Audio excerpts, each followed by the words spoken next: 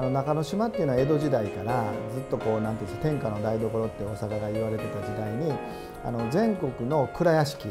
100以上の蔵屋敷が集まっていた場所全国の経済の中心地。そういう古くからある魅力というかあの文化的なあの財産があるところ。水あるいは緑空というその自然環境景観みたいなものとやっぱり文化性。そういったものがあのある町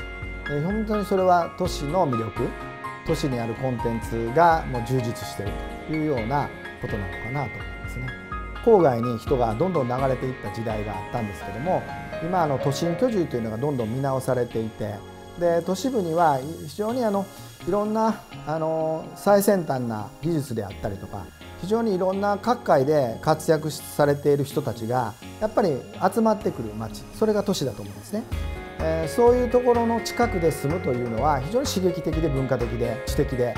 え、そういうそのライフスタイルを好む人にとっては非常に都市で住むというのはあの魅力的ではないかなというふうに思いますね。都市には刺激がありますよね。あの刺激というのはあの文化を生んでいく上では非常に大切な要素で、え、都市の中に刺激があることによってそのいろんな人たちがやっぱりよりまた洗練されていくそんなふうに